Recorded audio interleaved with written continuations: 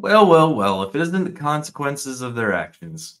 So this article's from about 10 days ago, but last Friday, another article came out and it looks like more countries are joining in the ban Barbie bandwagon. So Warner Brothers is responding to claims to Vietnam banning Barbie over alleged map favoring Chinese territorial claim. So someone in producing this film decided it would be a great idea to just have everything be all of China and Vietnam isn't happy. Like a lot of other Southeast Asian countries, they are not a fan of China.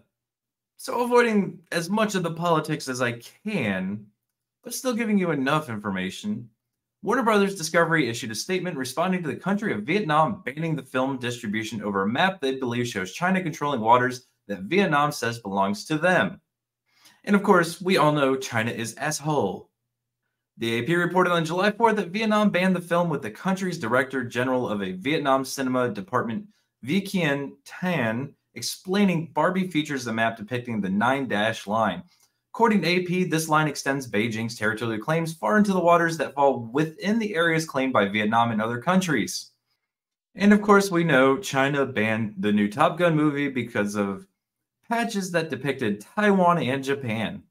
But getting more up to date on this, the Barbie movie has been banned and censored across two Southeast Asian countries, and it shows how the territorial dispute over the South China Sea is becoming intense.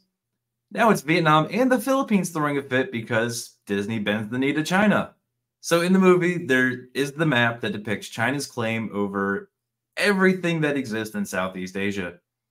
And this is just one new thing that's probably going to hurt Barbie because Mattel knows saying this is a feminist movie means it's going to be a box office flop, but the actors and actresses are saying it is a feminist film. And quite honestly, I think this movie probably is a feminist film. The companies know they can't openly admit it, and they're probably telling all these actresses to shut up.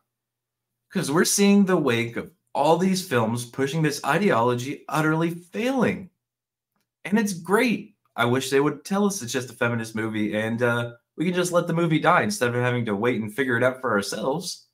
But I'm not going to go see this movie. I'm not sure how many of you are, but let me know in the comment section. Let me know. Are you going to go see this movie? Are you just going to laugh at it because it's utterly hilarious and countries are banning it because of China? But while you're there, make sure you drop me a like, make sure you're subbed, and I'll catch you guys on the next one.